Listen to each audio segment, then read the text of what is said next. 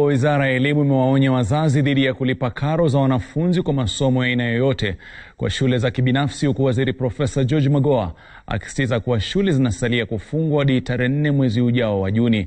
Waziri magoa aidha amesisitiza kuwa mitihani ya kitaifa haijaahirishwa, akisema kuwa kwa sasa yaliyo muhimu ni kuwalinda wanafunzi kutokana na janga la kiafya linaloshuhudiwa.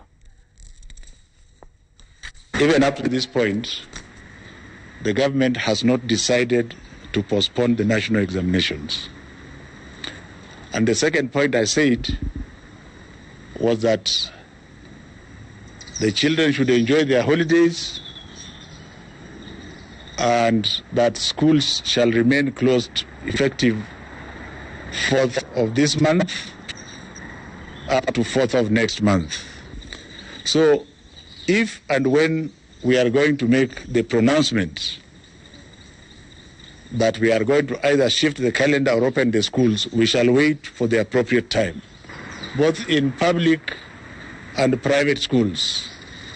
And when I'm empowered by His Excellency the President to make a policy pronouncement, like the extension of, uh, of, of the lockdown of schools for 30 days, it, it does not discriminate and say this is for the public or this is for the private.